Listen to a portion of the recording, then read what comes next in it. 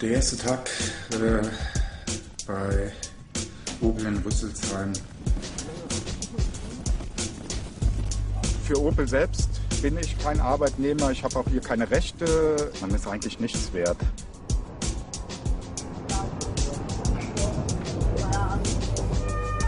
Erster Tag bei Bayer, erste Schicht ist erledigt. Hier ist es tatsächlich eben so, dass es nicht mehr darum geht, flexibel jemanden zu ersetzen. Heute kam äh, die erste Abrechnung und es ist wirklich unvorstellbar. Also jetzt bleiben mir noch gerade mal 8 Euro in der Tasche und der Gang zum Arbeitsamt.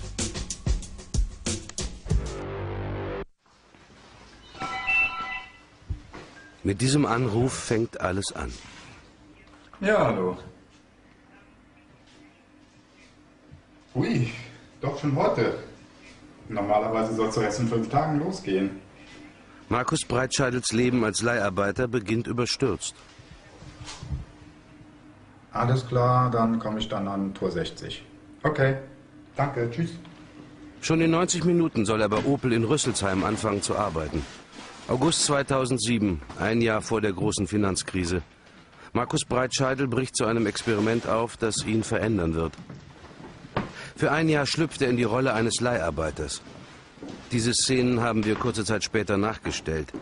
Dass er über seine Erlebnisse ein Buch schreiben will, wird er verheimlichen. Er arbeitet undercover. Wir werden ihn in diesem Jahr immer wieder begleiten.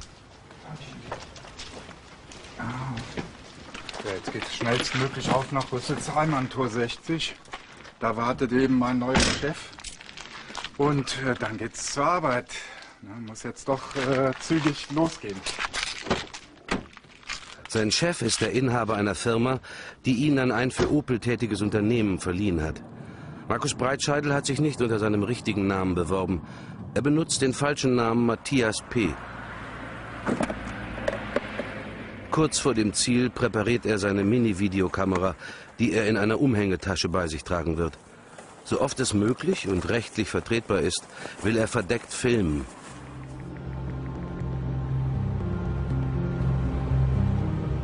Opel in Rüsselsheim.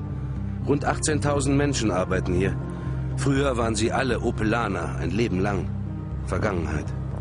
Ein Teil der Produktion ist inzwischen an Zulieferer und Dienstleister ausgelagert, die wiederum Leiharbeiter für sich arbeiten lassen. Markus Breitscheidel wird nun einer von ihnen sein. Ab hier ist er auf sich gestellt. Wir können nicht mehr drehen. Die versteckte Minikamera läuft. Sein Undercover-Einsatz beginnt. Die heimlich gedrehten Bilder und Aufzeichnungen wird er uns später zur Verfügung stellen.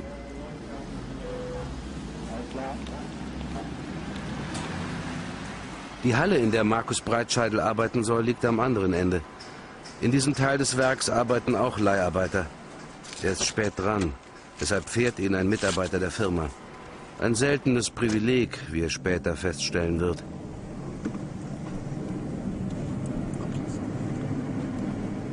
Wir fuhren durch das riesige Werksgelände. Das waren gut zehn Minuten Autofahrt und standen vor einer Halle, äh, die scheinbar gar nichts mehr mit Opel zu tun hatte. Wir kamen äh, dann rein und das bedeutet eben auch drei neuen Kollegen wurde die Halle gezeigt. Als Leiharbeiter soll er Autoscheinwerfer kontrollieren. Die Lampen kommen aus China und etliche hätten Mängel, sagt er uns später. Als meine neue Mitarbeiterin und ich nachgefragt haben, wo wir uns denn umkleiden könnten, hieß er unser Schichtleiter, der gut zehn Jahre jünger ist als ich, wies uns eine Ecke zu mit Stühlen, frei in dieser Halle. Es habe keinen Umkleideraum gegeben. Sein Platz sei die Werkshalle, nur die. Wir zogen uns dann um, begleitet natürlich von Pfiffen aus der ganzen Werkshalle, da auch die Frau sich umziehen musste. Markus Breitscheidel filmt immer nur ganz kurz. Er fühlt sich unsicher beim Drehen. Jetzt trägt er die Kluft der Firma. Jeder kann ihn schon von weitem von echten Opelanern unterscheiden.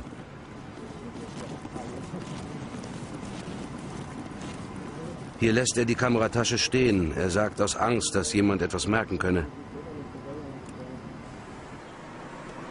Schon nach wenigen Stunden kommt er wieder aus dem Werk. Wie bei allen Leiharbeitern sieht auch sein Arbeitsvertrag vor, dass er voll bezahlt wird. Egal für wie viele Stunden er ausgeliehen wird. Doch auf der Arbeit behauptet er, hätten Kollegen ihm das anders erklärt.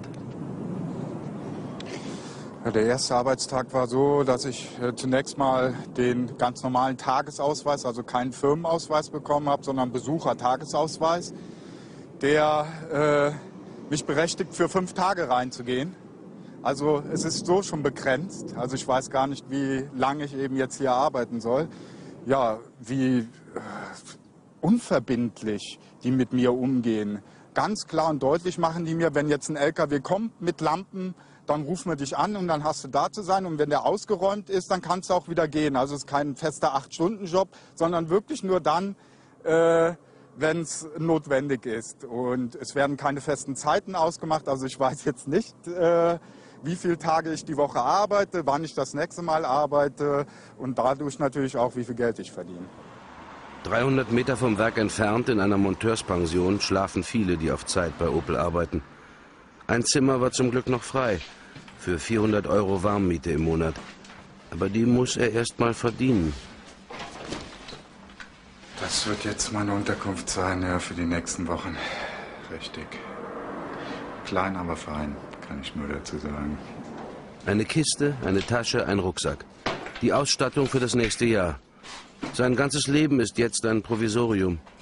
Sein Chef habe angeblich sofort gesagt, von heute auf morgen könne hier wieder Schluss sein. Das heimliche Leben als Leiharbeiter. Den ersten Tag hat er geschafft.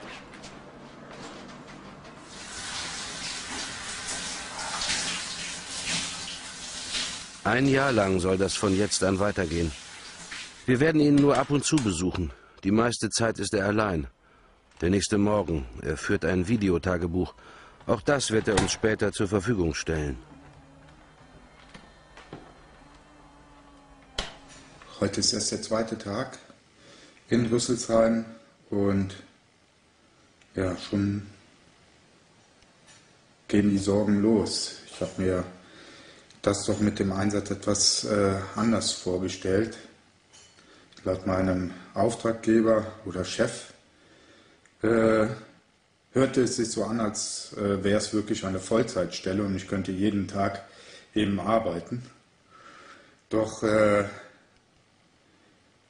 Schon gestern ist mir klar geworden, dass anscheinend nur, nur ein Job auf Abruf ist und wir nur abgerufen werden, wenn tatsächlich eben auch Arbeit da ist.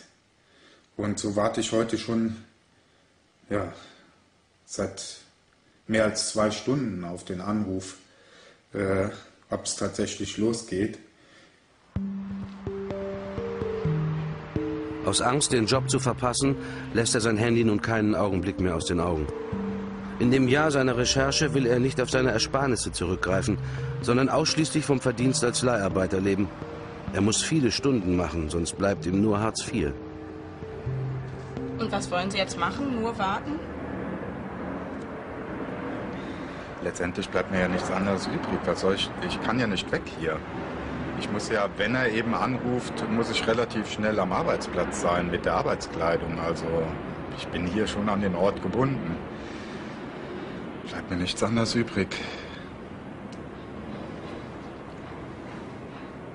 Warten auf ein Zeichen von der Firma. Oft ruft er selbst beim Chef an. Wann darf er ins Werk und arbeiten? Mhm. Na gut, dann mache ich das eben so. Dann warte ich eben, bis angerufen wird. Okay, danke. Tschüss. Und was ist jetzt? Ja, heute ist eben kein Einsatz. Opel hat mich heute eben nicht abgerufen über die Personalfirma. Und obwohl es eben mein Chef wusste, hat er mir bisher noch nicht Bescheid gesagt. Also es wird heute keine Arbeit geben für mich. Und wer bezahlt jetzt den Tag? Das Risiko dafür trage ich. Also wenn ich, ich bekomme nur Geld dann, wenn ich Einsatztage habe. Also weder mein Arbeitgeber, die Leihfirma, noch Opel er muss heute irgendwas zahlen. Wir fragen bei der Firma nach. Dort heißt es, man halte sich an die Tarifverträge. Die Wartestunden würden also bezahlt. Markus Breitscheidel traut der Zusage nicht.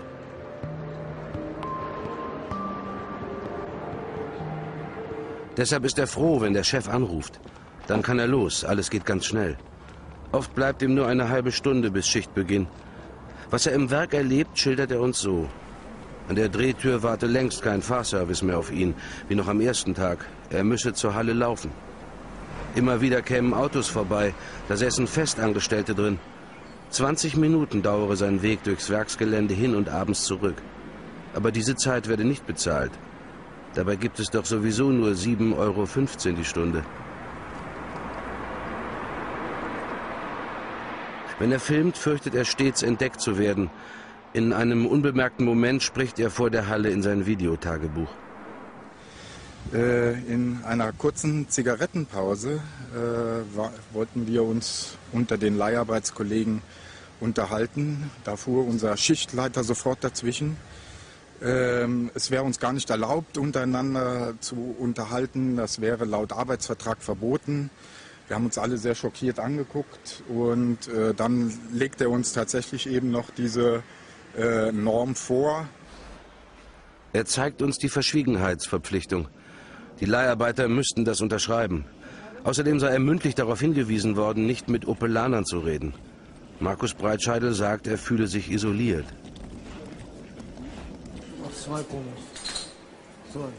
Diskriminiert fühlt er sich auch in der Opel-Kantine. Die externen Mitarbeiter zahlen fürs Mittagessen gut das Doppelte. Da geht er lieber zum Imbiss. Hier kosten die Pommes rot-weiß für jeden dasselbe. Ich habe mit ein paar Leiharbeitern gesprochen, mit uns, der schon seit acht Jahren bei Vico. Das erste richtige Gespräch mit einem Kollegen. Ufuk Ütschmen ist schon seit 20 Jahren Leiharbeiter, um sich und seine drei Kinder durchzubringen. Es gibt keine Leihfirmen, glaube ich, dass ich nicht gearbeitet habe. Ne? Überall mindestens bei 30, 40 unterschiedliche Leihfirmen, aber fast in ganz Deutschland eingesetzt. Ich war praktisch immer von zu Hause weg. Ne? Meine Frau hat immer damals Schwierigkeiten gemacht, hat immer gesagt, die Kinder sagen dir bald Onkel, ne? die wissen nicht mehr, wer der Vater ist. Von seinem Lohn kann die Familie nicht leben. Auch er hat nur sieben Euro in der Stunde. Viele Firmen sehen es nicht gern, dass die Leiharbeiter darüber miteinander sprechen. Können Sie in einer Stunde da sein? Das ist überall so bei einer Leihfirma. Da dürften wir über unsere Verdienst nicht reden untereinander. Ne? Nicht sagen, das wäre dann ein Grund zur fristlosen Kündigung. Wieder bei der Arbeit. Filmen findet Markus Breitscheidel inzwischen zu riskant. Er macht nur schnell Fotos mit seinem Handy. Am Abend erzählt er seinem Videotagebuch noch ganz aufgelöst, was dann passiert sei. Er habe gerade Scheinwerfer kontrolliert, als ein Manager gekommen sei. In der Schicht gab es äh, Riesenärger. Äh, es äh, kam eine ganze Fuhre von äh, Scheinwerfer für Opel Vectra. Und so nach einer Stunde hatten wir ja, mehr als die Hälfte der Scheinwerfer als nicht in Ordnung aussortiert. Dann kam ein, ein, ja, ein, ein Manager in blauem Hemd und Schlips und Kragen, sehr nervös, fauchte uns sofort an, wie wir denn, äh, dass wir unsere Arbeit vernünftig machen sollten. Und äh, wir haben dann gefragt, was hätten wir denn falsch gemacht? Ja, es wären viel zu viele aussortiert worden und das Band würde in 20 Minuten stehen. Äh, wir sollten uns da was einfallen lassen und ließ uns die ganzen Scheinwerfer, die als nicht in Ordnung geprüft worden sind, ließ er uns eben, äh, ja, ließ er uns nochmal prüfen mit der ganz klaren Order, sie alle als okay durchgehen zu lassen, damit eben das Band nicht still, stillsteht.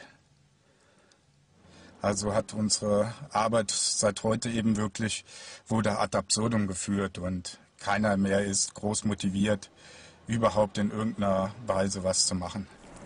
Seine Einsatzfirma bestreitet seine Schilderung. Wir waren nicht mit in der Halle, können das erstmal nicht nachprüfen. Doch dann reagiert Opel. Über Wochen hatten wir vergeblich um eine Stellungnahme gebeten. Als wir Breitscheidels Geschichte von den Scheinwerfern erzählen, gibt Opel plötzlich doch ein Interview. Man will klarstellen, dass auf keinen Fall defekte Scheinwerfer eingebaut würden.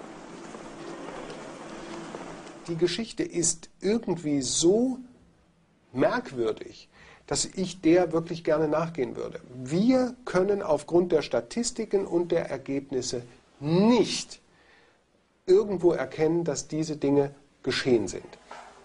Und was ist mit den anderen Erlebnissen, von denen Markus Breitscheidel berichtet hat? Sie fühlen sich diskriminiert, dass sie andere Kleidung tragen müssen, dass jeder sie erkennt. Oh Gott. Sie haben gesagt, ähm, Sie ähm, mussten in der Kantine das Doppelte fürs Essen bezahlen, von, also das Doppelte von dem, was die Stammarbeiter bezahlen müssen. Sie haben gesagt, Sie durften die, ähm, die Räume nicht benutzen. Das heißt, Sie mussten sich in der Halle umziehen. Sie durften hm. sich nicht in den, in den ähm, Betriebsräumen umziehen. Ähm, das sind alles Sachen, die die Leute als, als diskriminierend erlebt haben. Verstehen Sie das, dass ein Leiharbeiter sich durch so etwas diskriminiert fühlt? Es sind keine Opel-Leiharbeiter. Es sind Leiharbeiter, setzen die Sie im sich Opel bitte. Setzen Sie sich bitte mit der von Ihnen eben zitierten Firma in, äh, ins Benehmen, denn ähm, eins muss doch auch mal ganz klar sein. Wir kaufen eine Mitarbeit ein, eine Leistung. Und wir fühlen uns für die Leute schon verantwortlich. Was die Arbeitssicherheit angeht, sind die Standards genau dieselben, wenn die auf dem Werksgelände sind. In der Tat, sage ich mal, gibt es da vielleicht Einzelregelungen an der Kantine oder wie auch immer, die die Leute als diskriminierend empfinden. Aber da müssen sie sich dann bitte doch an Ihre Firma wenden. Aber geben Also Sie denn die Verantwortung ab in dem Moment, in dem Sie die Arbeit einkaufen? Interessiert Sie das dann nicht mehr, wie es den Leuten geht? Also wir haben da schon ein Interesse. Nur ich sage Ihnen auch mal ganz klar, ähm, wir haben erstmal das Interesse, dass die Arbeit ordentlich gemacht wird. Und wenn Sie, ich weiß nicht, mit viel, wie vielen gesprochen haben, uns sind diese Klagen bisher noch nicht zu Ohren gekommen. Kein Wunder, sagt Markus Breitscheitel zu uns. Er fühlt sich schon ganz als Leiharbeiter, wirkt manchmal verbittert. wenn man den Mund aufmacht und äh, das hat der ein oder andere Kollege eben schon erfahren müssen, dann muss man sofort gehen. Und das weiß man. Und deshalb ist die Stimmung eben unter uns Leiharbeitern tatsächlich so, dass keiner irgendwas sagt und jeder, der hier rein ist, bereit ist, jede Arbeit wie auch immer zu erledigen. Er sagt, er sei jetzt schon demotiviert. Er ist sauer, er hat zu wenig Arbeitseinsätze. Und es gibt Unstimmigkeiten über die geleisteten Arbeitstage. Seine Firma sagt später, er habe überhaupt nur drei Tage gearbeitet. Er will es nicht zum Streit kommen lassen, weil seine Tarnung sonst auffliegen könnte. Letztendlich äh, ist natürlich schon eine sehr ja, unangenehm, peinliche Geschichte, dass man zwar ja, einen Arbeitsvertrag hat, der einen laut dem Vertrag auf jeden Fall mal Vollbeschäftigung äh, zugesteht, das allerdings aber nicht ausreicht, um, ja, um die Höhe überhaupt der Sozialhilfe äh, zu erreichen. Also jetzt bleiben mir noch gerade mal 8 Euro in der Tasche und der Gang zum Arbeitsamt. Seine Bilanz für den September? Obwohl er einen Job hatte, musste er zum Amt, um einen Zuschuss für Miete und Essen zu beantragen. Denn noch immer wartet er auf sein erstes verdientes Geld. Seit Beginn seiner Recherche lebt er von Hartz IV. Er will die Rolle durchhalten.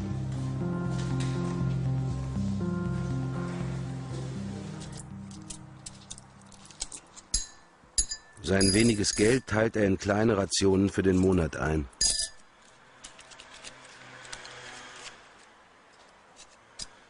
ist eigentlich so gekommen, wie ich bereits vermutet habe. Die Einsätze reduzieren sich ja schon.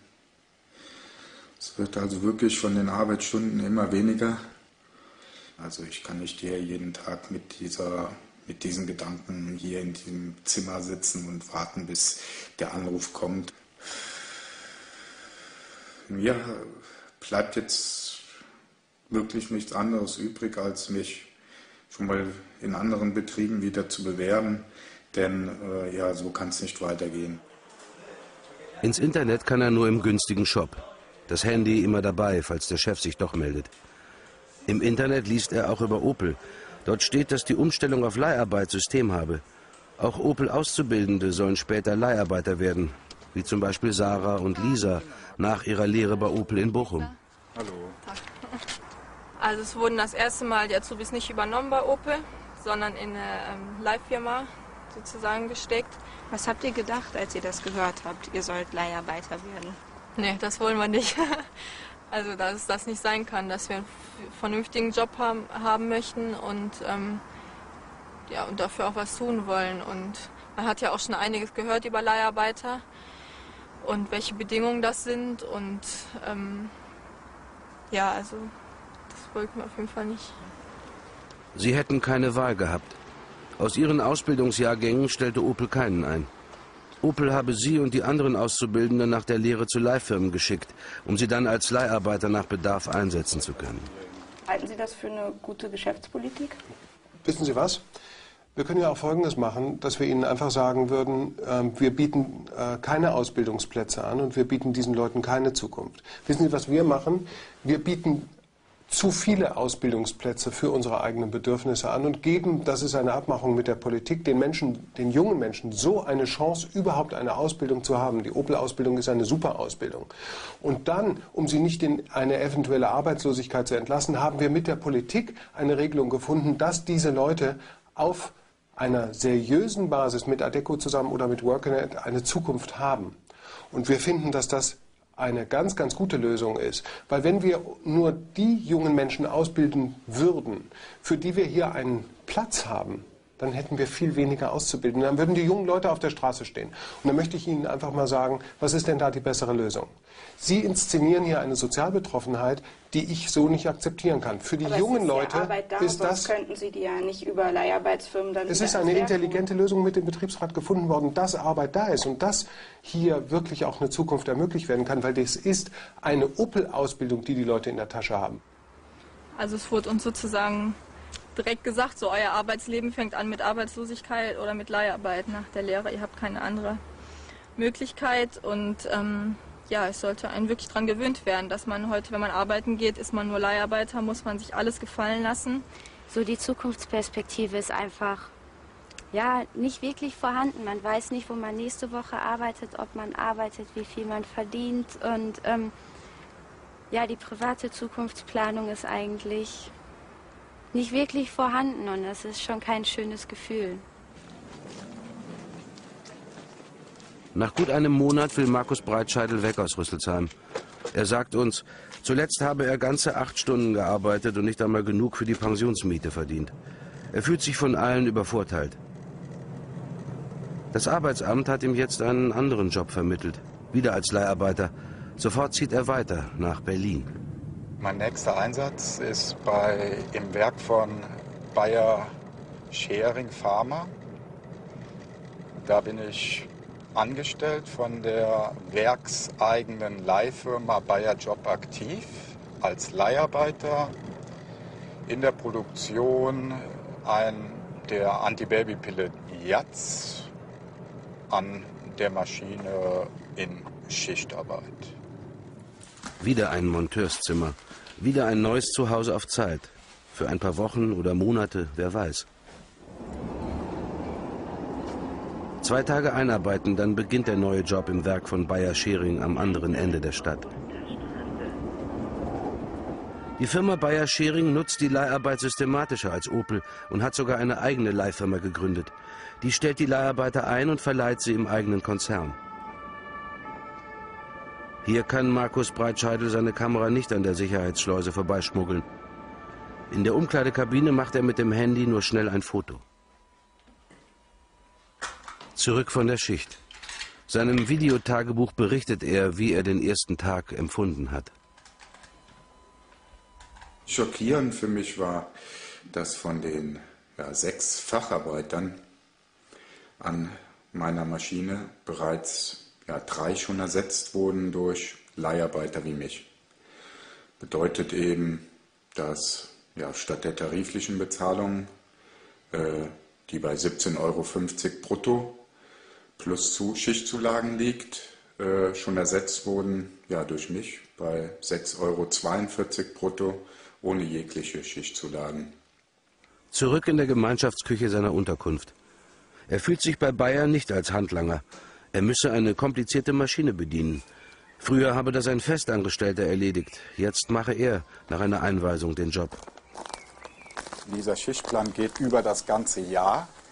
Hier ist es tatsächlich eben so, dass es nicht mehr darum geht, eben äh, flexibel jemanden zu ersetzen durch Krankheit oder Urlaub, sondern hier ist es wirklich, man ist fest als Mitarbeiter eingeplant und fest in diesem Schichtsystem drin.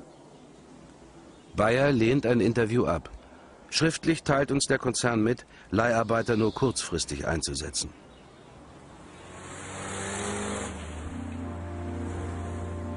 Früh, spät und nachts, so sieht es sein Schichtplan vor, muss er nun ins Werk und Seite an Seite mit den Festangestellten arbeiten. Doch er verdient nicht einmal die Hälfte. So richtig schockiert war ich, als ich äh, in der Pause in die große Kantine gekommen bin, äh, da zu sehen, äh, ja, wie viele Namenlose. Das sind diejenigen, die ja, den Leiharbeiterkittel tragen. Die Leiharbeiter sind die einzigen im Werk, die ihren Namen nicht auf dem Arbeitskittel tragen und sich damit eben deutlich von den Werksarbeitern unterscheiden. Wie viele da in dieser Kantine schon gesessen haben, äh, ja, da ist die Angst der Festangestellten, dies deutlich zu spüren. Drei Wochen hat er im ersten Monat bei Bayer Job aktiv gearbeitet. Sein Vertrag hatte erst am 5. Oktober begonnen. Im ersten Monat 529 Euro und 31 Cent netto bar auf die Hand. Im ja, stetigen Wechsel zwischen Spät-, Nacht- und äh, Frühschicht äh, habe ich gearbeitet. Und heute kam äh, die erste Abrechnung und es, es ist unvorstellbar, wirklich unvorstellbar. Da bleiben mir nicht einmal 530 Euro netto übrig, um äh, zu leben. Das, das, das reicht gerade für die Fahrkarte und das reicht gerade eben, um die Miete zu bezahlen. Aber äh, das reicht nicht, äh, um nur ein bisschen dann noch zu essen einzukaufen oder sich irgendwas anderes zu gönnen. Er borgt sich Geld bei Freunden. Wie hält man solch ein Leben auf Dauer aus? Seine Kollegin ist schon seit Jahren Leiharbeiterin bei Bayer. Sie möchte nicht erkannt werden. Ich war schon mal so weit gewesen, dass ich eine Einstellung gekriegt hätte. Das ist jetzt zwei Jahre her. Und äh, von heute auf morgen wurde dann gesagt, okay, Feierabend, wir brauchen euch nicht mehr. Und mein Vertrag lag aber schon zur Unterschrift bereit und da habe ich dann damals gesagt, okay, da gehe ich nicht wieder rein. Gehe ich nicht wieder rein. Das war jetzt das letzte Mal, dass sie mich rausgeschubst haben. Aber wo es dann hieß, ich kann wieder anfangen, war ich dann doch wieder happy gewesen.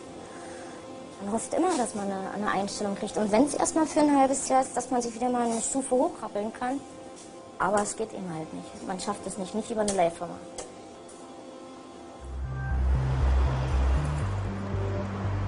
Als er an diesem Nachmittag nach Hause kommt, hat Markus Breitscheidel wieder Post von Bayer Job aktiv. Die Firma behauptet, er habe oft gefehlt und rechnet nur zwölf Arbeitstage an. Das ist ja unglaublich. Ich habe jetzt von Bayer Job aktiv einen Brief bekommen, dass sie mir im Monat Oktober 130,50 Euro zu viel bezahlt haben und ich diesen Betrag wieder bei der nächsten Abrechnung abgezogen bekomme. Bis heute streiten sie über die Zahl der Arbeitstage. So oder so, das Geld reicht nicht mehr. Außerdem fühlt er sich einsam, überlegt sogar aufzugeben. Dann könnte er seinen Lohn einklagen.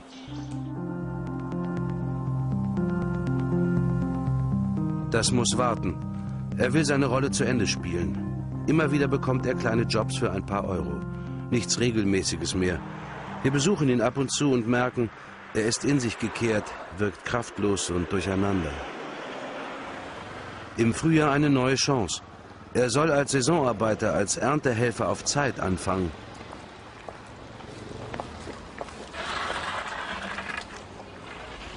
April 2008. Neun Monate dauert seine Recherche jetzt schon. Markus Breitscheidel sagt, diesen Job wolle er noch machen. Er fährt nach Brandenburg an die polnische Grenze. Zusammen mit zehn anderen Arbeitslosen soll er nun dem Obstbauern Wilhelm Aldag bei der Erdbeerernte helfen. Wir kündigen uns ebenfalls an für eine Erntereportage und haben tatsächlich die Möglichkeit, offen mit unserer Kamera zu drehen. Also es muss jedem klar sein. Es ist keine Arbeit, die man so nebenbei mitmachen kann. Sie bekommen also am Feldrand nicht nur solche Päckchen, Schälchen, sondern auch solche Holzkisten. Es werden 25 Cent pro Schälchen gezahlt, das heißt für eine solche Kiste 2,50 Euro. Wer die Arbeit machen will und macht und gut kann, der schafft auf jeden Fall seine 7 bis 8 bis 9 Euro in der Stunde. Und es wird noch besser. Eine Mitarbeiterin des Arbeitsamtes ist da und sie verspricht, dass es sogar obendrauf noch Geld aus der Staatskasse gibt. Eine Art Kombilohn. Äh, und da den Antrag stellen, weil das wird ja von ähm, Optieren und Kommunen dann gezahlt. Sie bekommen von uns noch einen Saison-Mehrbedarfsausgleich. Da habe ich für diejenigen auch schon einen Antrag mit. Das heißt, dass sie pro Tag 18 Euro von der Agentur für Arbeit noch bekommen. 9 Euro plus Zuschuss. Das wäre das Doppelte von dem, was Markus Breitscheidel bisher verdient hat. Mitte Juni. Um kurz vor fünf am Morgen gehen die Helfer aufs Feld. Markus Breitscheidel erntet seit zwei Wochen. Unsere Kamera ist wieder offiziell dabei.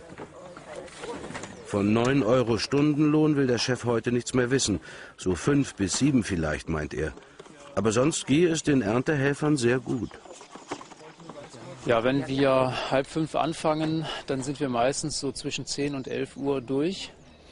Und äh, wenn etwas mehr geerntet werden muss, dann kann es auch mal passieren, dass wir bis um 12 machen. Wenn es dann zu heiß wird, dann unterbrechen wir auch und machen am Abend nochmal. Wir versuchen, das den Leuten also so angenehm wie möglich zu gestalten, obwohl die Arbeit wirklich sehr anstrengend ist. Ein Arbeitgeber, der sich kümmert. Auf dem Feld ist offenbar alles in Ordnung, doch wir sehen, die Helfer schaffen trotz aller Mühe weniger Paletten als erhofft. Markus Breitscheidel spricht heute offiziell mit uns. Wie viel schaffen Sie in der Stunde? Also es sind im Schnitt zwischen 2,50 Euro und 3,25 brutto. Jetzt sagt der Chef, es sind im Schnitt 7 Euro. Also die hat äh, kein Kollege das ausgeschlossen, das zu schaffen. Das bestätigen uns auch andere Erntehelfer. Keiner, den wir fragen, kommt über 4 Euro die Stunde. Wenn Markus Breitscheidel abends in sein Videotagebuch spricht, ist er oft aufgeregt und übermüdet. Wir haben Montag, den 2.6., mein erster Einsatz in der Erdbeerernte. Und puh, ich muss schon gestehen, eine sehr anstrengende Arbeit, da sie fast nur im Bücken oder Knien durchgeführt wird. Rücken, der komplette, die kompletten Muskeln im Beckenbereich und auch die Knie werden stark beansprucht.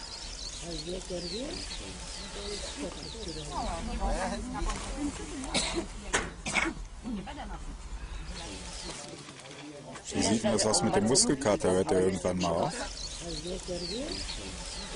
Nach zwei Wochen nicht?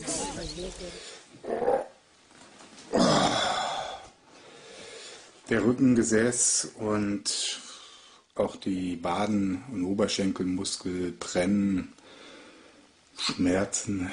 Ähm, laut Kollegen soll das nach 14 Tagen wieder besser werden. Ich kann eigentlich kaum erklären, wie fix und fertig ich bin.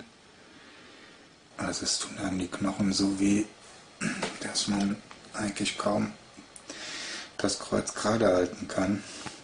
Ich habe verschiedene Techniken ausprobiert. Zunächst im Rocken. Das geht so 30 Minuten gut. Dann geht man über zu den Knien. Das heißt, man kniet vor den Pflanzen das bedeutet, dass sich die Knie etwas aufscheuern und so ein leichtes Blut gemischt doch ein bisschen mit Erdbeer sich da durchdrückt. Was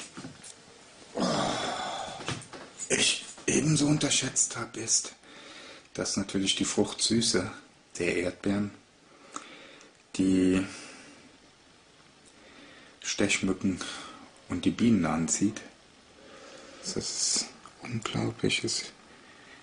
Die ganzen Beine durch die lange Jeanshose durch zerstochen. Donnerstag, der 5. Juni. Der Bauer macht so langsam ernst, muss man sagen. Also heute hat er uns ohne Vorankündigung elfeinhalb Stunden bei wirklich brennender Sonne auf dem Feld kriechen lassen. Er hat weder Getränke noch irgendwelche Lebensmittel rangebracht. Was ich für fahrlässig halte, ist, dass er uns nicht mal eine Kiste Wasser hingestellt hat. Und seine Erdbeeren denkt er, da schaut er, dass jede einzelne ja kein, keine Druckstelle hat und da läuft auch jeder einzelnen hinterher. Aber man merkt eben, dass wir das Personal oder ob er uns überhaupt als Personal ansieht, ist schon fraglich äh, da äh, in seinen Planungen keine Rolle spielen.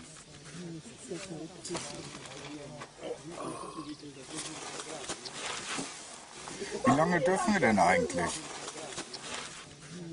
Sechs Stunden dürfen wir. Also erzähle ich meiner Fallmanagerin besser nicht, dass wir länger als sechs Stunden haben.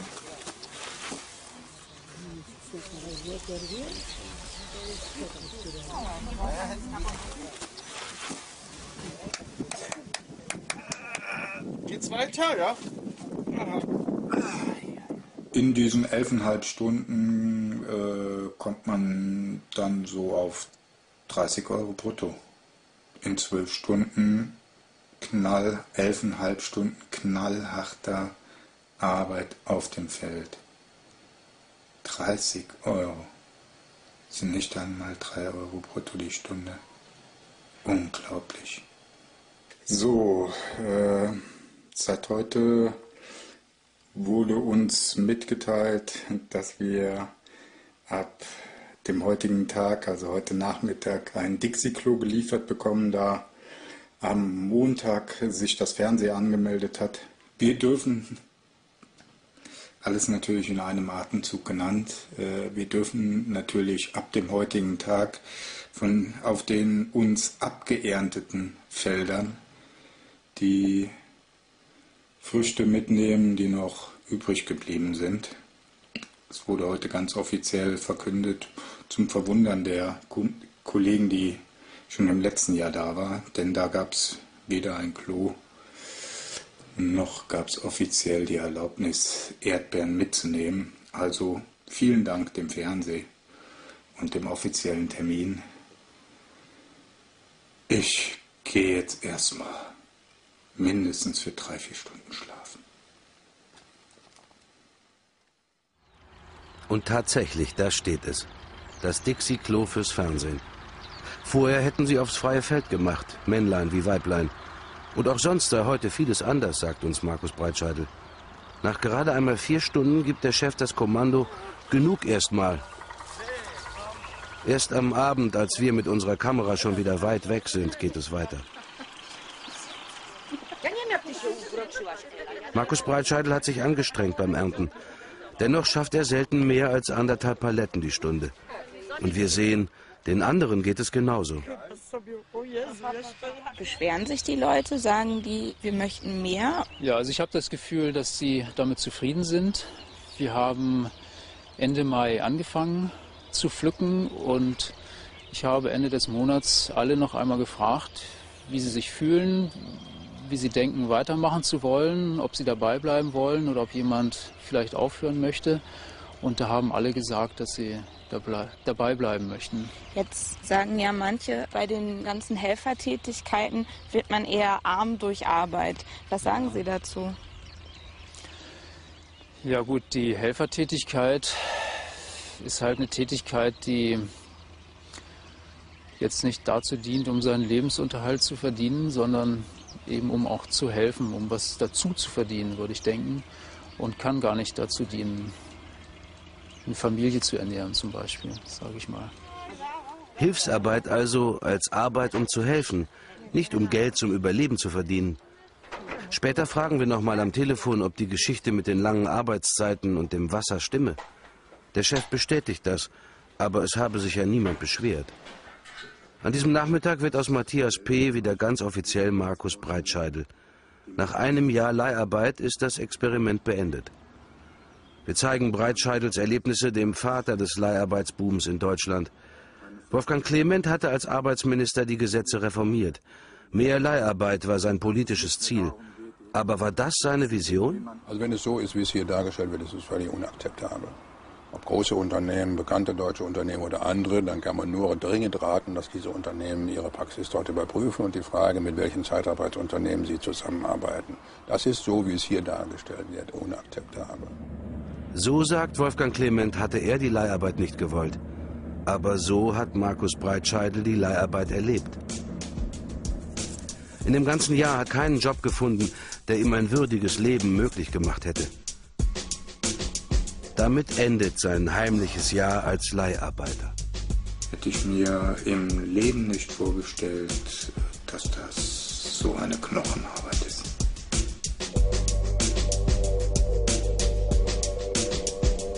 Man geht arbeiten, damit man leben kann.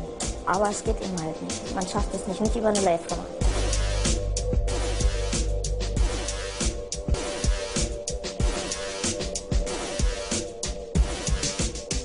Warte ich heute schon seit Stunden auf den Anruf. Das ist eine ganz moderne Art des Arbeiterstrichs. Letzter Tagebucheintrag. Ich habe jetzt äh, ein Jahr als Leiharbeiter gearbeitet und ich könnte es nicht mehr länger tun. Durch den ständigen Wohnortwechsel verliert man den Boden unter den Füßen und ich fühle mich sehr einsam und ausgelaugt. Dazu ist der Verdienst eben so gering, dass er zum Überleben nicht reicht. Ich hätte es mir niemals so kompliziert und schwierig vorgestellt, das Leben als Leiharbeiter. Und am schlimmsten ist für mich zu wissen, dass Hunderttausende meiner Kollegen das gleiche Schicksal tagtäglich tragen müssen und weiter diesem Job nachgehen. Von Besserung keine Sp ist einfach ja nicht wirklich vorhanden. Man weiß nicht, wo man nächste Woche arbeitet, ob man arbeitet, wie viel man verdient und ähm, ja, die private Zukunftsplanung ist eigentlich nicht wirklich vorhanden und das ist schon kein schönes Gefühl. Nach gut einem Monat will Markus Breitscheidel weg aus Rüsselsheim. Er sagt uns, zuletzt habe er ganze acht Stunden gearbeitet und nicht einmal genug für die Pensionsmiete verdient. Er fühlt sich von allen übervorteilt. Das Arbeitsamt hat ihm jetzt einen anderen Job vermittelt, wieder als Leiharbeiter. Sofort zieht er weiter nach Berlin. Mein nächster Einsatz ist bei, im Werk von Bayer Schering Pharma. Da bin ich angestellt von der werkseigenen Leihfirma Bayer Job Aktiv als Leiharbeiter in der Produktion ein, der Antibabypille Jatz an der Maschine in Schichtarbeit. Wieder ein Monteurszimmer, wieder ein neues Zuhause auf Zeit.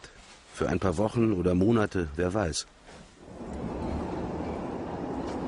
Zwei Tage einarbeiten, dann beginnt der neue Job im Werk von Bayer Schering am anderen Ende der Stadt. Die Firma Bayer Schering nutzt die Leiharbeit systematischer als Opel und hat sogar eine eigene Leihfirma gegründet. Die stellt die Leiharbeiter ein und verleiht sie im eigenen Konzern. Hier kann Markus Breitscheidel seine Kamera nicht an der Sicherheitsschleuse vorbeischmuggeln. In der Umkleidekabine macht er mit dem Handy nur schnell ein Foto. Zurück von der Schicht. Seinem Videotagebuch berichtet er, wie er den ersten Tag empfunden hat.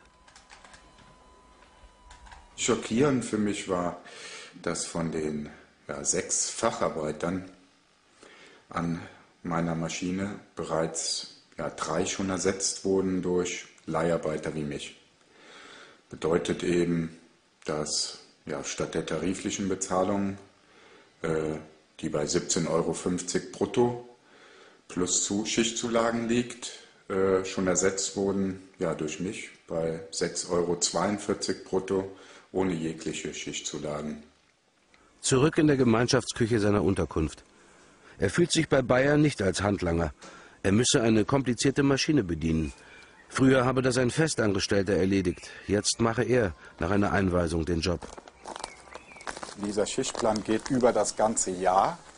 Hier ist es tatsächlich eben so, dass es nicht mehr darum geht, eben äh, flexibel jemanden zu ersetzen durch Krankheit oder Urlaub, sondern hier ist es wirklich, man ist fest als Mitarbeiter eingeplant und fest in diesem. Und, äh, dann legt er uns tatsächlich eben noch diese äh, Norm vor.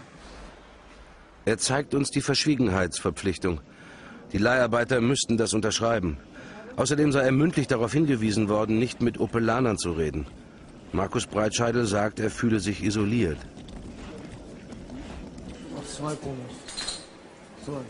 Diskriminiert fühlt er sich auch in der Opel-Kantine. Die externen Mitarbeiter zahlen fürs Mittagessen gut das Doppelte. Da geht er lieber zum Imbiss. Hier kosten die Pommes rot-weiß für jeden dasselbe. Ich habe mit ein paar Leiharbeitern gesprochen, mit uns, der schon seit acht Jahren bei Vico. Das erste richtige Gespräch mit einem Kollegen. Ufuk Ütschmen ist schon seit 20 Jahren Leiharbeiter, um sich und seine drei Kinder durchzubringen. Es gibt keine Leihfirmen, glaube ich, dass ich nicht gearbeitet habe. Ne? Überall mindestens bei 30, 40 unterschiedliche Leihfirmen, aber fast in ganz Deutschland eingesetzt. Ich war praktisch immer von zu Hause weg. Ne? Meine Frau hat immer damals Schwierigkeiten gemacht, hat immer gesagt, die Kinder sagen dir bald Onkel, ne? die wissen nicht mehr, wer der Vater ist. Von seinem Lohn kann die Familie nicht leben. Auch er hat nur sieben Euro in der Stunde. Viele Firmen sehen es nicht gern, dass die Leiharbeiter darüber miteinander sprechen. Können Sie in einer Stunde da sein? Das ist überall so bei einer Leihfirma. Da dürften wir über unsere Verdienst nicht reden untereinander. Ne? Nicht sagen, das wäre dann ein Grund zur fristlosen Kündigung. Wieder bei der Arbeit. Filmen findet Markus Breitscheidel inzwischen zu riskant. Er macht nur schnell Fotos mit seinem Handy. Am Abend erzählt er seinem Videotagebuch noch ganz aufgelöst, was dann passiert sei. Er habe gerade Scheinwerfer kontrolliert, als ein Manager gekommen sei. in der Schicht gab es äh, Riesenärger. Äh, es äh, kam eine ganze Fuhre von äh, Scheinwerfer für Opel Vectra. Und so nach einer Stunde hatten wir ja, mehr als die Hälfte der Scheinwerfer als nicht in Ordnung aussortiert. Dann kam ein, ein, ja, ein, ein Manager in blauem Hemd und Schlips und Kragen, sehr nervös, fauchte uns sofort an, wie wir denn, äh, dass wir unsere Arbeit vernünftig machen sollten. Und äh, wir haben dann gefragt, was hätten wir denn falsch gemacht? Ja, es wären viel zu viele aussortiert worden und das Band würde in 20 Minuten stehen. Äh, wir sollten uns da was einfallen lassen und ließ uns die ganzen Scheinwerfer, die als nicht in Ordnung geprüft worden sind, ließ er uns eben, äh, ja, ließ er uns nochmal prüfen mit der ganz klaren Order, sie alle als okay durchgehen zu lassen, damit eben das Band nicht still, stillsteht. Wie auch immer zu erledigen. Er sagt, er sei jetzt schon demotiviert. Er ist sauer, er hat zu wenig Arbeitseinsätze. Und es gibt Unstimmigkeiten über die geleisteten Arbeitstage. Seine Firma sagt später, er habe überhaupt nur drei Tage gearbeitet. Er will es nicht zum Streit kommen lassen, weil seine Tarnung sonst aufliegen könnte. Letztendlich äh, ist natürlich schon eine sehr ja, unangenehm, peinliche Geschichte, dass man zwar ja, einen Arbeitsvertrag hat, der einen laut dem Vertrag auf jeden Fall mal Vollbeschäftigung äh, zugesteht, das allerdings aber nicht ausreicht, um, ja, um die Höhe überhaupt der Sozialhilfe äh, zu erreichen. Also jetzt bleiben mir noch gerade mal 8 Euro in der Tasche und der Gang zum Arbeitsamt. Seine Bilanz für den September? Obwohl er einen Job hatte, musste er zum Amt, um einen Zuschuss für Miete und Essen zu beantragen. Denn noch immer wartet er auf sein erstes verdientes Geld. Seit Beginn seiner Recherche lebt er von Hartz IV. Er will die Rolle durchhalten.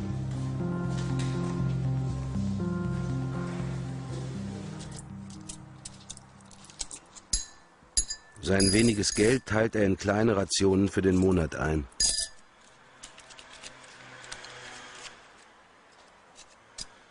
Es ist eigentlich so gekommen, wie ich bereits vermutet habe. Die Einsätze reduzieren sich ja schon.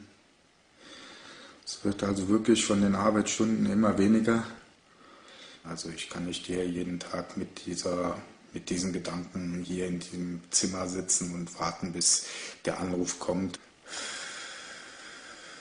Mir bleibt jetzt wirklich nichts anderes übrig, als mich schon mal in anderen Betrieben wieder zu bewerben, denn äh, ja, so kann es nicht weitergehen. Ins Internet kann er nur im günstigen Shop. Das Handy immer dabei, falls der Chef sich doch meldet. Im Internet liest er auch über Opel. Dort steht, dass die Umstellung auf Leiharbeit System habe. Auch Opel-Auszubildende sollen später Leiharbeiter werden, wie zum Beispiel Sarah und Lisa nach ihrer Lehre bei Opel in Bochum. Hallo.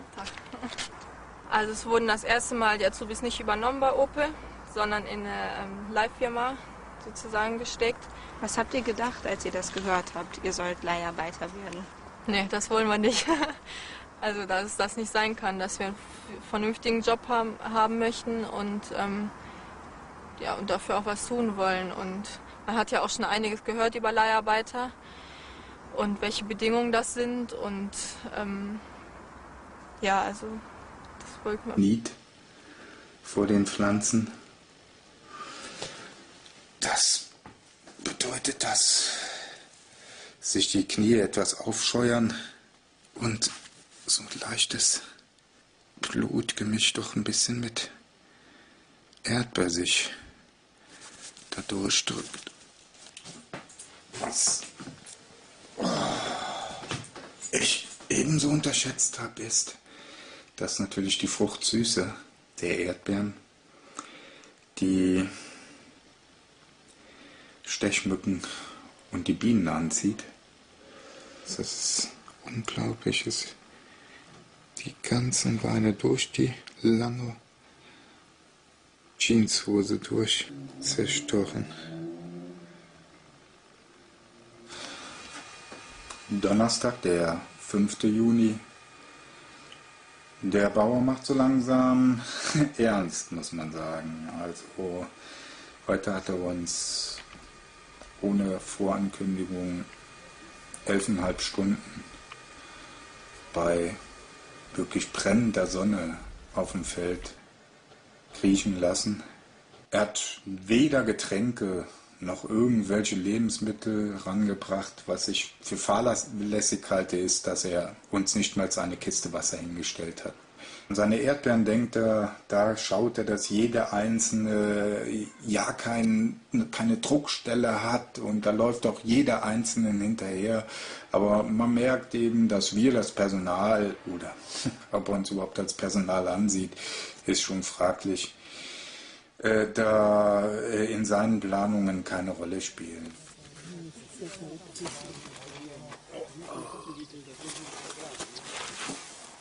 Wie lange dürfen wir denn eigentlich? Sechs Stunden dürfen wir. Also erzähle ich meiner Fallmanagerin besser nicht, dass wir länger als sechs Stunden haben.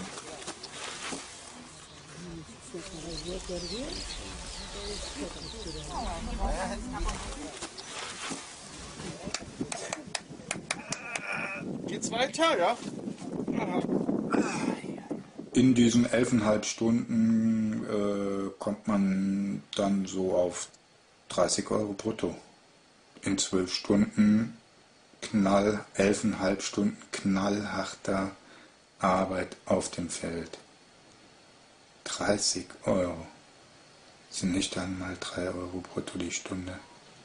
Unglaublich.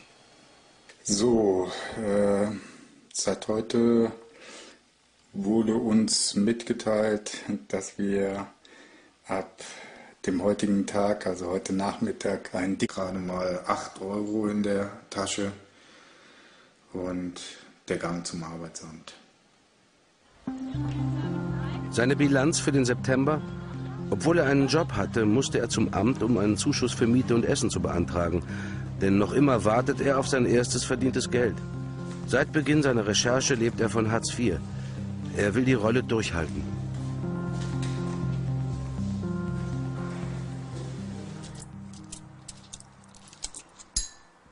Sein weniges Geld teilt er in kleine Rationen für den Monat ein.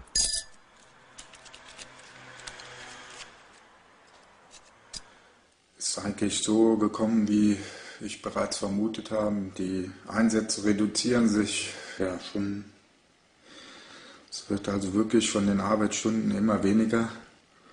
Also ich kann nicht hier jeden Tag mit dieser mit diesen Gedanken hier in diesem Zimmer sitzen und warten, bis der Anruf kommt.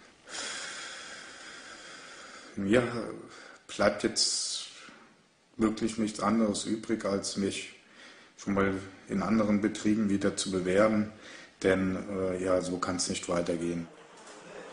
Ins Internet kann er nur im günstigen Shop. Das Handy immer dabei, falls der Chef sich doch meldet. Im Internet liest er auch über Opel. Dort steht, dass die Umstellung auf Leiharbeit System habe.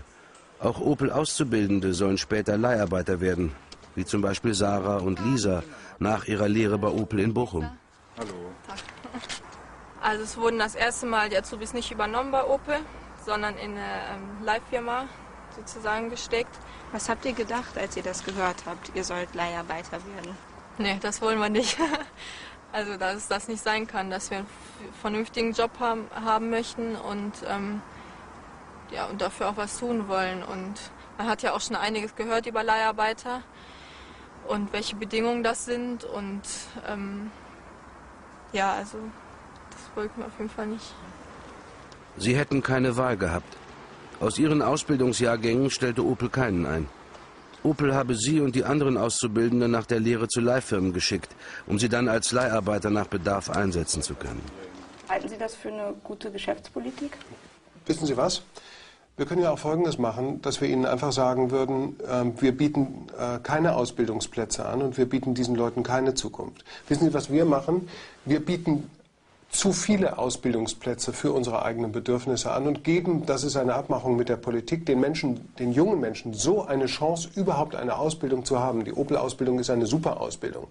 Und dann, um sie nicht in eine eventuelle Arbeitslosigkeit zu entlassen, haben wir mit der Politik eine Regelung gefunden, dass diese Leute auf einer seriösen Basis mit Adeco zusammen oder mit Work Monat Oktober 130,50 Euro zu viel bezahlt haben und ich diesen Betrag wieder bei der nächsten Abrechnung abgezogen bekomme. Bis heute streiten sie über die Zahl der Arbeitstage. So oder so, das Geld reicht nicht mehr. Außerdem fühlt er sich einsam, überlegt sogar aufzugeben. Dann könnte er seinen Lohn einklagen.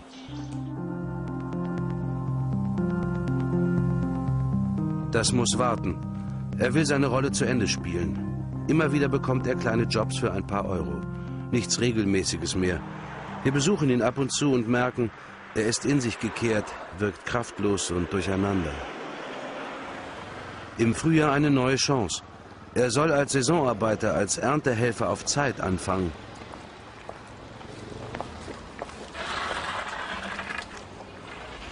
April 2008. Neun Monate dauert seine Recherche jetzt schon. Markus Breitscheidel sagt, diesen Job wolle er noch machen. Er fährt nach Brandenburg an die polnische Grenze. Zusammen mit zehn anderen Arbeitslosen soll er nun dem Obstbauern Wilhelm Aldag bei der Erdbeerernte helfen. Wir kündigen uns ebenfalls an für eine Erntereportage und haben tatsächlich die Möglichkeit, offen mit unserer Kamera zu drehen. Also es muss jedem klar sein. Es ist keine Arbeit, die man so nebenbei mitmachen kann. Sie bekommen also am Feldrand nicht nur solche Päckchen, Schälchen, sondern auch solche Holzkisten. Es werden 25 Cent pro Schälchen gezahlt, das heißt für eine solche Kiste 2,50 Euro. Wer die Arbeit machen will und macht und gut kann, der schafft auf jeden Fall seine 7 bis 8 bis 9 Euro in der Stunde. Und es wird noch besser. Eine Mitarbeiterin des Arbeitsamtes ist da und sie verspricht, dass es sogar obendrauf noch Geld aus der Staatskasse gibt. Eine Art Kombilohn. Äh, und da den Antrag stellen, weil das wird ja von ähm, Optieren und Kuhn dann gezahlt. Sie bekommen von uns noch einen Saison-Mehrbedarfsausgleich. Da habe ich für diejenigen auch schon einen Antrag mit. Das heißt, dass sie pro Tag 18 Euro von der Agentur für Arbeit noch bekommen. 9 Euro plus Zuschuss. Das wäre das Doppelte von dem, was Markus Breitscheidel bisher verdient hat. Mitte Juni. Um kurz vor fünf am Morgen gehen die Helfer aufs Feld. Markus Breitscheidel erntet seit zwei Wochen. Unsere Kamera ist wieder offiziell dabei. Von 9 Euro Stundenlohn will der Chef heute nichts mehr wissen. So fünf bis sieben vielleicht, meint er. Aber sonst gehe es den Erntehelfern sehr gut. Ja, wenn wir halb fünf anfangen, dann sind wir meistens so zwischen 10 und 11 Uhr durch. Und äh, wenn etwas mehr geerntet werden muss, dann kann es auch mal passieren, dass wir bis um 12 machen. Im Internet liest er auch über Opel. Dort steht, dass die Umstellung auf Leiharbeit System habe. Auch Opel-Auszubildende sollen später Leiharbeiter werden, wie zum Beispiel Sarah und Lisa nach ihrer Lehre bei Opel in Bochum. Hallo. Also es wurden das erste Mal die Azubis nicht übernommen bei Opel, sondern in eine ähm, Leihfirma sozusagen gesteckt. Was habt ihr gedacht, als ihr das gehört habt? Ihr sollt Leiharbeiter werden? Nee, das wollen wir nicht. Also, dass das nicht sein kann, dass wir einen vernünftigen Job haben, haben möchten und, ähm, ja, und dafür auch was tun wollen. Und man hat ja auch schon einiges gehört über Leiharbeiter und welche Bedingungen das sind. Und ähm, ja, also das wollten wir auf jeden Fall nicht. Sie hätten keine Wahl gehabt. Aus ihren Ausbildungsjahrgängen stellte Opel keinen ein. Opel habe sie und die anderen Auszubildenden nach der Lehre zu Leihfirmen geschickt, um sie dann als Leiharbeiter nach Bedarf einsetzen zu können. Halten Sie das für eine gute Geschäftspolitik? Wissen Sie was? Wir können ja auch Folgendes machen, dass wir Ihnen einfach sagen würden, äh, wir bieten äh, keine Ausbildungsplätze an und wir bieten diesen Leuten keine Zukunft. Wissen Sie, was wir machen? Wir bieten zu viele Ausbildungsplätze für unsere eigenen Bedürfnisse an und geben, das ist eine Abmachung mit der Politik, den Menschen, den jungen Menschen so eine Chance, überhaupt eine Ausbildung zu haben. Die Opel-Ausbildung ist eine super Ausbildung. Und dann, um sie nicht in eine eventuelle Arbeitslosigkeit zu entlassen, haben wir mit der Politik eine Regelung gefunden, dass diese Leute auf einer seriösen Basis mit Adeco zusammen oder mit Workernet eine Zukunft haben. Und wir finden, dass das eine ganz, ganz gute Lösung ist. Weil wenn wir nur die jungen Menschen ausbilden würden, für die wir hier einen Platz haben, dann hätten wir viel weniger auszubilden. Dann würden die jungen Leute auf der Straße stehen. Und dann möchte ich Ihnen einfach mal sagen, was ist denn da die bessere Lösung? Sie inszenieren hier eine Sozialbetroffenheit, die ich so nicht akzeptieren kann. Für die Aber jungen ist Leute ja Arbeit da, ist das könnten Sie die ja nicht über Leiharbeitsfirmen dann es ist eine intelligente Lösung mit dem Betriebsrat gefunden worden, dass Arbeit da ist und dass hier wirklich auch eine Zukunft ermöglicht werden kann, weil das ist eine Opel-Ausbildung, die die Leute in der Tasche haben. Also es wurde uns sozusagen direkt gesagt, so euer Arbeitsleben fängt an mit Arbeitslosigkeit oder mit Leiharbeit nach der Lehre. Ihr habt keine andere Möglichkeit und ähm, ja, es sollte einen wirklich daran gewöhnt werden, dass man heute, wenn man arbeiten geht, ist man nur Leiharbeiter, muss man sich alles gefallen lassen. So die Zukunftsperspektive ist einfach ja nicht wirklich vorhanden. Man weiß nicht, wo man nächste Woche arbeitet, ob man arbeitet, wie viel man verdient und ähm, ja, die private Zukunftsplanung ist eigentlich nicht wirklich vorhanden und das ist schon kein schönes Gefühl. Nach gut einem Monat will Markus Breitscheidel weg aus Rüsselsheim. Er sagt uns, zuletzt habe er ganze acht Stunden. Dann war ich dann doch wieder happy gewesen. Man hofft immer, dass man eine, eine Einstellung kriegt. Und wenn es erstmal für ein halbes Jahr ist, dass man sich wieder mal eine Stufe hochkrabbeln kann. Aber es geht eben halt nicht. Man schafft es nicht, nicht über eine Leihfirma.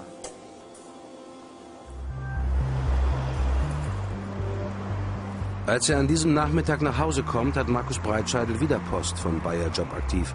Die Firma behauptet, er habe oft gefehlt und rechnet nur zwölf Arbeitstage an.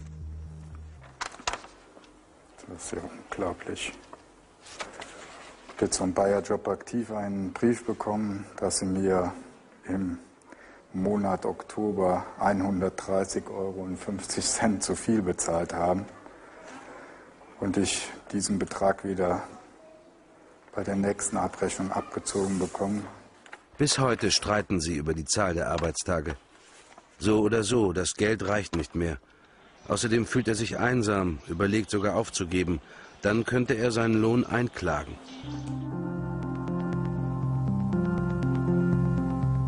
Das muss warten. Er will seine Rolle zu Ende spielen. Immer wieder bekommt er kleine Jobs für ein paar Euro. Nichts Regelmäßiges mehr.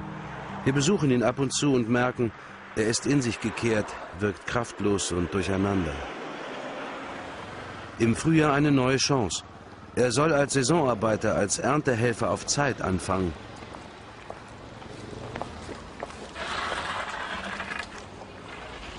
April 2008. Neun Monate dauert seine Recherche jetzt schon. Markus Breitscheidel sagt, diesen Job wolle er noch machen. Er fährt nach Brandenburg an die polnische Grenze. Zusammen mit zehn anderen Arbeitslosen soll er nun dem Obstbauern Wilhelm Aldag bei der Erdbeerernte helfen. Wir kündigen uns ebenfalls an für eine Erntereportage und haben tatsächlich die Möglichkeit, offen mit unserer Kamera zu drehen. Also es muss jedem klar sein. Es ist keine Arbeit, die man so nebenbei mitmachen kann. Sie bekommen also am Feldrand nicht nur solche Päckchen, Schälchen, sondern auch solche Holzkisten. Es werden 25 Cent pro Schälchen gezahlt, das heißt für eine solche Kiste 2,50 Euro. Wer die Arbeit machen will und macht und gut kann, der schafft auf jeden Fall seine 7 bis 8 bis 9 Euro in der Stunde. Und es wird noch besser. Eine Mitarbeiterin des Arbeitsamtes ist da und sie verspricht, dass es sogar obendrauf noch Geld aus der Staatskasse gibt. Eine Art Kombilohn. Da den Antrag stellen, weil das wird ja von ähm, Optieren und Kuhn dann gezahlt. Sie bekommen von uns noch einen Saison-Mehrbedarfsausgleich. Da habe ich für diejenigen auch schon einen Antrag mit. Das heißt, dass sie pro Tag 18 Euro von der Agentur für Arbeit noch bekommen. 9 Euro plus Zuschuss. Dass ich eine Einstellung gekriegt hätte, das ist jetzt zwei Jahre her. Und äh, von heute auf morgen wurde dann gesagt, okay, Feierabend, wir brauchen euch nicht mehr. Und mein Vertrag lag aber schon zur Unterschrift bereit. Und da habe ich dann damals gesagt, okay, da gehe ich nicht wieder rein. Gehe ich nicht wieder rein. Das war jetzt das letzte Mal, dass sie mich rausgeschubst haben. Aber wo es dann hieß, ich kann wieder anfangen, war ich dann doch wieder happy gewesen. Man hofft immer, dass man eine, eine Einstellung kriegt. Und wenn es erstmal für ein halbes Jahr ist, dass man sich wieder mal eine Stufe hochkrabbeln kann. Aber es geht eben halt nicht. Man schafft es nicht, nicht über eine Leihfirma.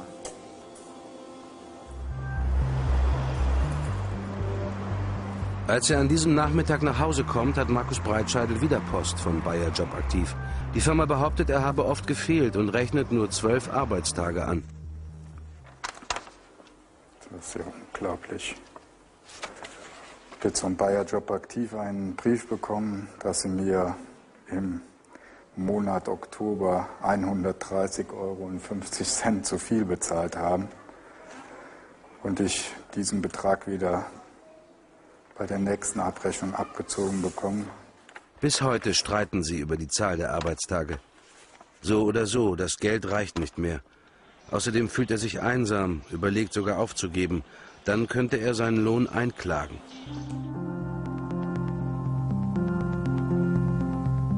Das muss warten. Er will seine Rolle zu Ende spielen. Immer wieder bekommt er kleine Jobs für ein paar Euro. Nichts Regelmäßiges mehr.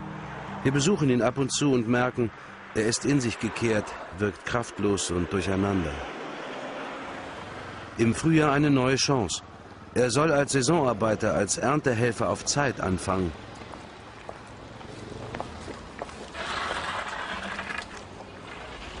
April 2008. Neun Monate dauert seine Recherche jetzt schon.